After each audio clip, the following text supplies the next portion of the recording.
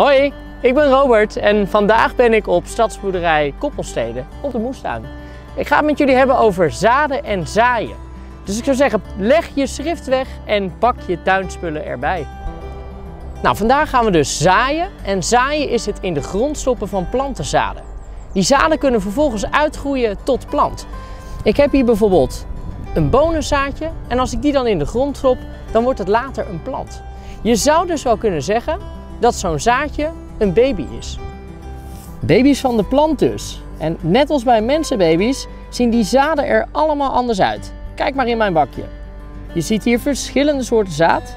Links zie je tomaat. Dan rechts zie je sla. En dan bovenin die dikke zaden, dat is van de Oost-Indische kers. En het is ook super leuk om zo'n zaadje met een loepje te bekijken. Dus dan pak ik bijvoorbeeld het zaadje van de Oost-Indische kers, die grote. Loepje bij je oog, zaadje er naartoe brengen. En dan kan je hem van heel dichtbij bekijken. Goed, laten we eens kijken hoe zo'n zaadje er van binnen uitziet. En daarvoor gebruik ik een bonenzaadje. Ik heb hem even opengemaakt en dan zie je al bovenin een klein plantje zitten. Met een dik worteltje en wat blaadjes. En dan die grote lobben eromheen van de boom, dat is allemaal reservevoedsel waar de plant van gaat groeien. Maar hoe groeit zo'n zaadje nou uit tot plant?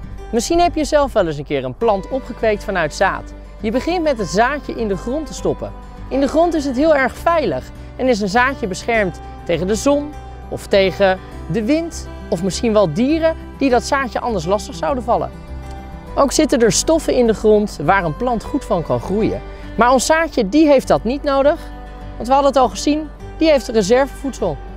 Ja, en nu is het wachten op het juiste moment om uit te komen. Die zaden die zijn hartstikke slim. Die kunnen de temperatuur voelen, dus die weten hoe warm het is. Nou, in de winter is het erg koud, dus dan blijven ze lekker onder de grond zitten. Maar als het dan in de lente weer warmer wordt, dan weten ze van hé, hey, we kunnen. Nu heeft die plant nog maar één ding nodig om te ontkiemen, om uit te komen. En dat zit in de lucht. Maar ik heb het even in mijn gietertje gedaan. Water. Want het velletje van het zaadje gaat dan weken, wordt een beetje zacht en het plantje komt er vervolgens uit. Nou, volgens mij heb ik wel genoeg gepraat en is het tijd om aan de slag te gaan.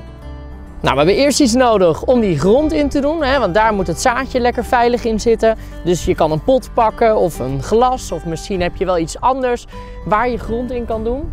Nou, vervolgens pak je gewoon potgrond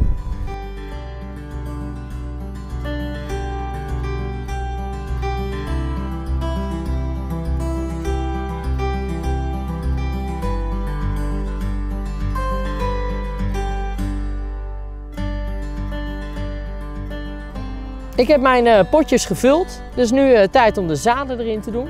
Sommige zaden die kan je er gewoon opleggen en voor andere moet je een gaatje maken. Uh, kijk vooral even op de verpakking van de groente die jij hebt, zodat je weet hoe je het moet zaaien.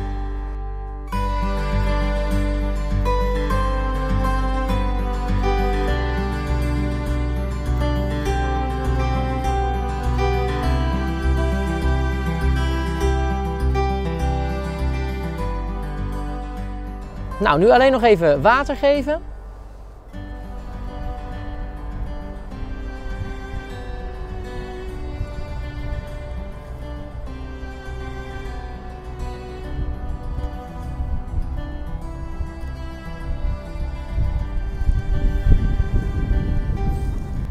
Ik wil natuurlijk wel weten wat er in elke pot zit, dus ik heb kaartjes gemaakt. In dit geval van deze yoghurtbeker. Kijk, hij is helemaal kapot.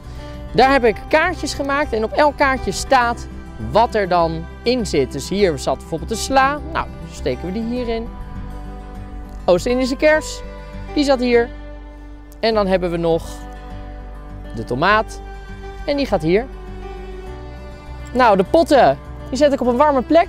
Kunnen ze lekker uh, wachten en dan uitgroeien. En dan uh, gaan we kijken wat voor mooie planten eruit komen.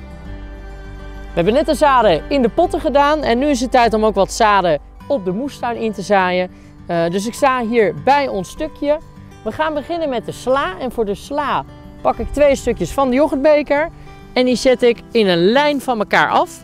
En daartussen ga ik met mijn platte hand een gootje maken.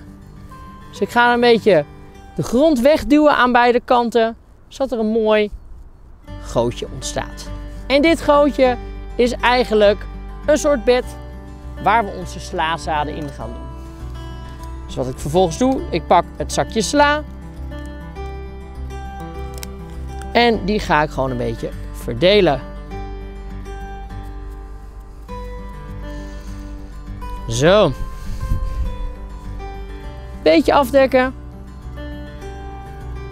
En klaar is Kees. Sla zit erin en nu gaan we ook nog wat Oost-Indische kerst zaaien.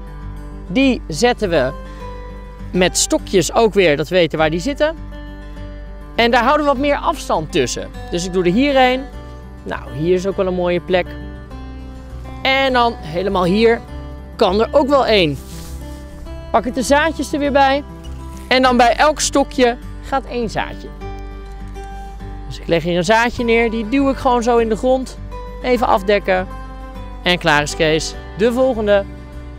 Een zaadje hier in de grond duwen en afdekken. En voor de laatste ook weer hetzelfde. Zaadje in de grond duwen en afdekken.